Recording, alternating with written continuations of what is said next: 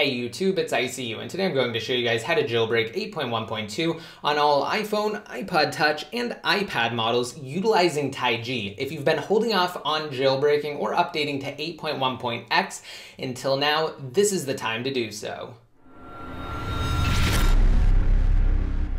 All right, so to start off, I wanted to say that I'm going to preface by saying a few things that I need to get out of the way. However, if you're one of my regular viewers and you know the drill by now, or you feel like you're more proficient in jailbreaking, then there will be a few annotations down below on the bottom of this video. So just be sure that you view this video on desktop. That's absolutely crucial, so that way you can skip ahead if you need to. And with that said, I'm going to cover everything related to jailbreaking and how to jailbreak iOS 8.1.2 completely untethered so that you guys can do so successfully. So if you happen to encounter any complications during the jailbreak process, ensure that you rewatch this video in its entirety. And with that said, first up, let's go over the supported devices. So the latest version of TaiG includes support for the iPhone 6 Plus, iPhone 6, iPhone 5S, iPhone 5C, iPhone 5, iPhone 4S, the iPad Air 2 and iPad Mini 3, the original iPad Air, the iPad Mini 2 with Retina display, the original iPad iPad mini, the iPad 2, and last but not least, the fifth generation iPod Touch, which is what I'm going to be using to demonstrate with in today's tutorial. And with that said, you're going to need a few things downloaded on your computer on a Windows-based PC. And I will actually include a link down below in the more info to a post on my site that contains everything you need to successfully jailbreak, being iTunes as well as the TaiG jailbreak utility. But before you do that, if you updated to the current iteration of iOS 8 that your device is running via the Settings app, meaning you went inside of Settings, General, and then Software Update, and you updated to whichever firmware your device is on via that method. For example, mine's on iOS 8.1.2. Then you will have to follow the method that I'm going to describe to you guys because you will most certainly encounter issues and complications post jailbreak, such as random resprings and crashes. So plug your device into your computer via a standard USB cable, launch iTunes, and then once iTunes is open, create a backup, and then restore your device to iOS 8.1.2. Once you've done that, set your device up as a new and fresh device. You can restore all of your data back onto it later once you're already jailbroken.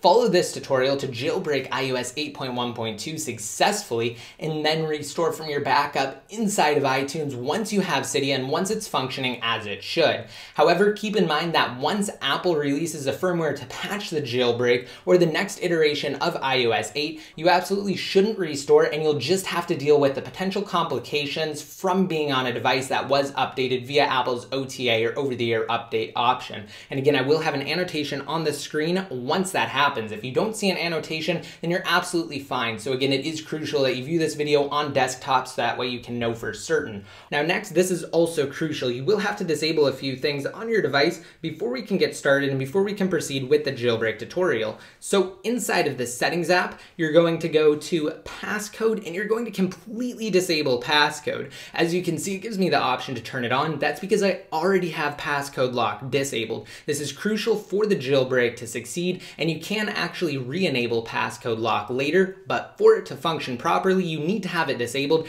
as well as the Find My iPhone or Find My iDevice portion of the iCloud portion of the settings app. So as you can see here, inside of settings, iCloud, I'm not even signed into an iCloud account. You will actually have to sign into an iCloud account and then sign out of Find My iPhone or Find My iDevice so that TaiG successfully recognizes that that feature is turned off. That's how it verifies it. So take this time to log into iCloud and then disable Find My iPhone. So as you can see down below at the bottom for Find My iPod Touch, again, keep in mind the name will change depending on your device. If you have an iPhone, it'll be Find My iPhone. If you have an iPad, it'll be Find My iPad. But regardless, as you can see, Find My iPod Touch is completely disabled for me inside of the iCloud portion of the settings app. So again, remember that is crucial that you disable that portion and that you actually sign into your account because that's how TaiG recognizes that it is disabled. And one last thing that I wanted to show you guys inside of settings, general, about, Down below at the bottom for the version, this iPod Touch confirms that it is indeed running iOS 8.1.2, the latest public firmware as of recording this video. All right, now with all of that out of the way, we can proceed. We're gonna need two things downloaded.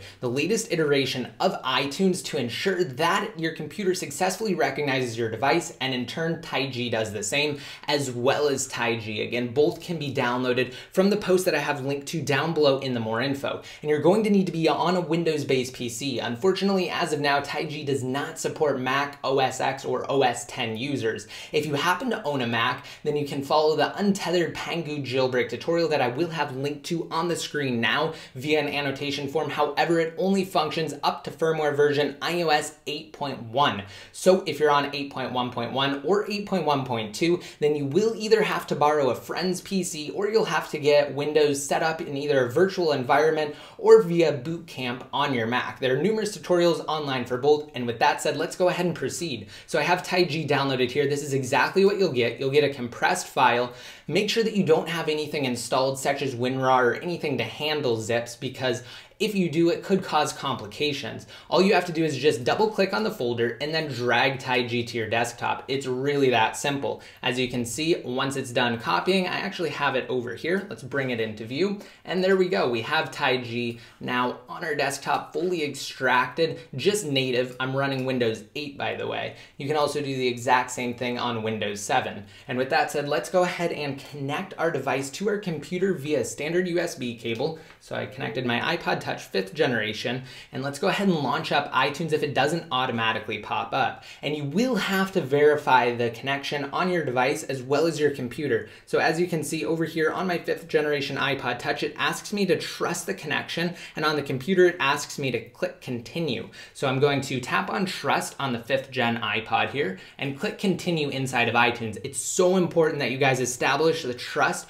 for the connection with your device and your computer. So ensure that you do that and that iTunes successfully recognizes your device. Once iTunes brings up your device, inside of its interface, you know that you're good to go and you can proceed. So bringing my iPod Touch out of view for a second, I'm going to wait until iTunes recognizes it. So it did indeed take some time, but as you can see, iTunes does have a screen here. It says, welcome to your new iPod. That's fine. I'm just going to close out of it. And then once you've done that, you can launch TaiG. So I'm just going to double click it and we'll get started. So I'm also going to click on run and we're going to readjust the view here. And then let's proceed with the iOS 8.1.2 jailbreak. All right, so after having zoomed in, you'll notice that we have a couple of check boxes here. The top one is Cydia. That's all we're really concerned about, followed by 3K Assistant. Let's go ahead and uncheck that because that's just a third-party Chinese distribution platform. So again, uncheck 3K Assistant. We're not interested in that at all. All we need to download and install the third-party packages, tweaks, and modifications is just Cydia, which it checks by default. Also, at the top here, you'll notice that TaiG does indeed confirm that this is indeed a fifth generation iPod Touch running iOS 8.1.2. And with that said, let's go ahead and click start and continue with this jailbreak. So as you can see here, it's proceeding with the jailbreak. We have a nice status indicator and definitely don't unplug your device. Just leave it connected and let it do its thing and refer to the progress inside of the TaiG jailbreak utility. So as you can see, now it moved past 30%, we're at 40% and continuing, everything's looking fine. And if you get past 30%, then you know you're good to go. If for whatever reason you get stuck at 30%, then you will unfortunately have to restore your device. That's just how it is because of some sort of incompatibility with your device. Again, you will be required to restore. And if it still doesn't function after having restored, then just set it up as a brand new device inside of iTunes when it prompts you to do so. As you saw previously, it gave me a setup iPod touchscreen. Just go ahead and click setup as a new device. And then from there, after iTunes finishes syncing, just go back to TaiG and retry the jailbreak.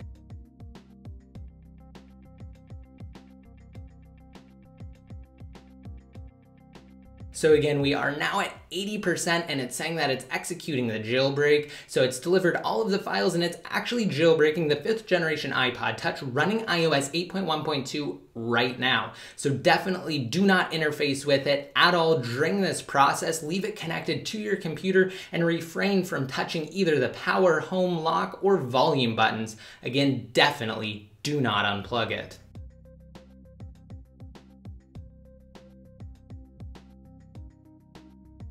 All right, so as you can see, it is rebooting. We have a smiley face over here inside of TaiG, and it says jailbreak successful. So now let's just wait for the fifth generation iPod Touch to reboot. From there, we will have Cydia, and it's just going to need to reorganize the file system. So now let's go ahead and just wait for the reboot, and I'll be right back, but I'm going to leave the iPod Touch up just so you guys can see again how long it should take.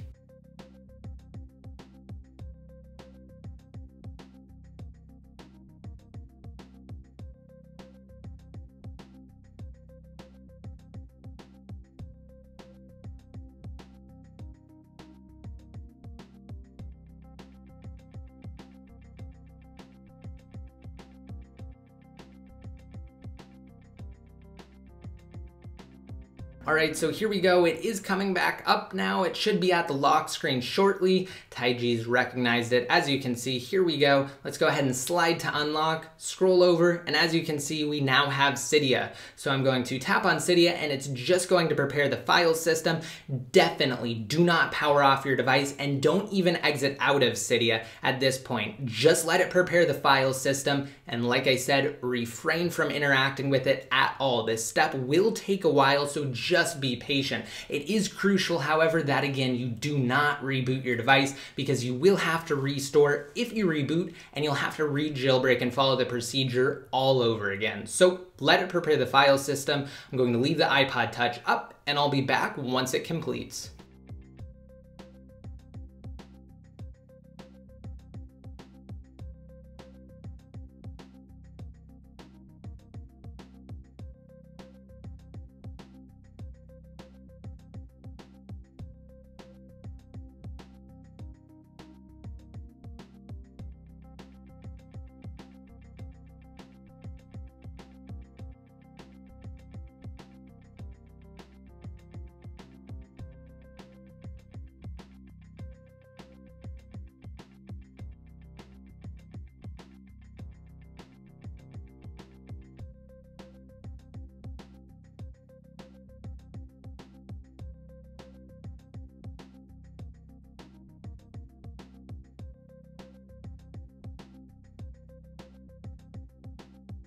All right, there we go. So we have the Apple logo now. It is just doing a simple respring. It definitely won't take as long as a regular reboot. So just let it respring. And once it's done, we'll be at the lock screen. And from there, we can open up Cydia again and we should be good to go. So let's go ahead and tap on Cydia. I'm also going to unplug the fifth generation iPod Touch and let's wait for Cydia to load. So as you can see, here we go. Cydia has fully loaded. Let's go ahead and tap on reload up in the top right hand corner, followed by going down to the bottom and then refresh on the sources tab. So make sure you go to sources and refresh and install any and all available updates. That's important as there may be updates that are crucial to the success of your device's jailbreak post jailbreak actually. So let's go ahead and wait for this to complete. And then from there, I'm going to show you guys that I can indeed install something via Cydia. And Cydia does indeed confirm that this is a fifth generation iPod Touch running iOS 8.1.1 with the latest version of Cydia installed, Cydia version 1.1.16.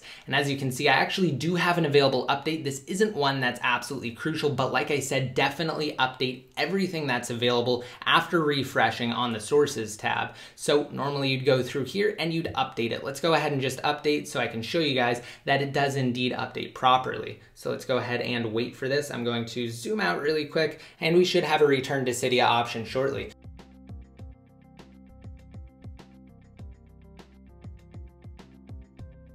So as you can see, it did successfully install, and there you have it. And also inside the install section, I definitely have the required packages there. As you can see, we even have the TaiG 8.0 through 8.1.x untether package. So there you go, guys. That's how you successfully jailbreak iOS 8.1.2 completely untethered on any iPhone, iPad, or iPod Touch model. As I stated toward the beginning of this video, if you happen to encounter any issues during the jailbreak process, make sure you watch this video in its entirety again. as it will rectify any of said potential complications. And with that said, if you guys like this video and it helped you jailbreak, just be sure to rate it up and leave a relevant comment down below in the comment section. Also, once you've done that, if you're interested in paid apps, gift cards, and bigger electronic devices, just be sure to visit bit.ly forward slash get free app life or just freeapplife.com inside of mobile Safari.